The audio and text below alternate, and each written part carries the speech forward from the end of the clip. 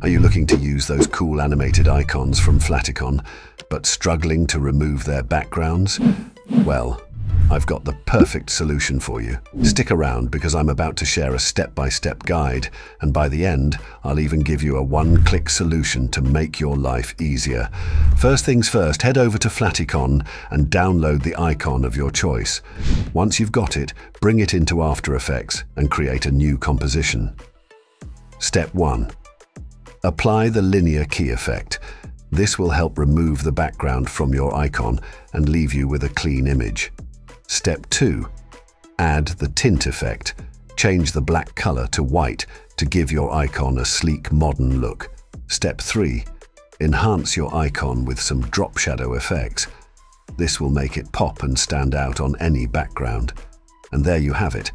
In just three steps, your clean, animated icon is ready to use. Keep in mind, this method works best with monochrome icons. If you're using multicolored icons, you might need a different approach. But wait, there's more. If you're tired of repeating these steps for every icon, I've got a game-changing solution for you. One key preset. Now you can apply these effects to multiple icons with just one click.